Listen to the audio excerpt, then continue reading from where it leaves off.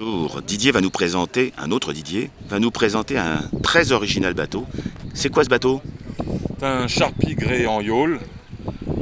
Donc, euh, mais c'est pas une maquette, c'est un modèle pour la voile radiocommandée. Donc avec une quille longue, une échelle euh, qui est de l'ordre du, du dixième en gros. D'accord, t'as une cavale. hein, et puis, oh, puis tu ouvres bien la voile phoque avant, il est génial.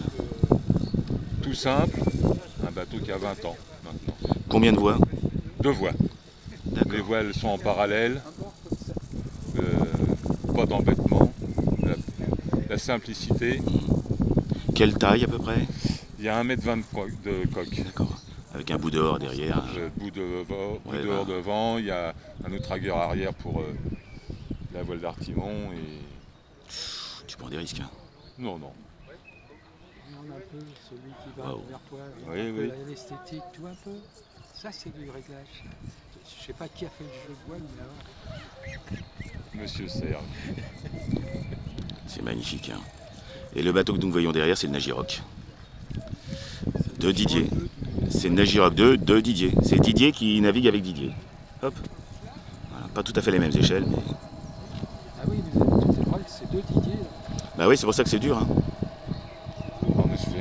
J'aime bien les grosses échelles, c'est vrai que c'est plus. C'est plus réaliste sur le. Il pèse Voilà. combien d'ailleurs tu, tu sais combien il pèse à peu près Il y a, il y a 2,5 kg en lest, 2,5 kg, 2,7 kg je crois en lest.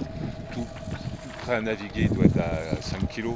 D'accord. Ah oui, c'est rien. Ah oui, il est creux. Non, Il y a du vrai vent sur les vagues. Le- Et moi, je me suis barré sans le faire exprès ici. Mais tu sais comment ils sont? Ils sont, ils sont vides, mes coques sont vides. Eh bien, écoute, merci Didier. Je serai heureux de partager. Au revoir, les amis.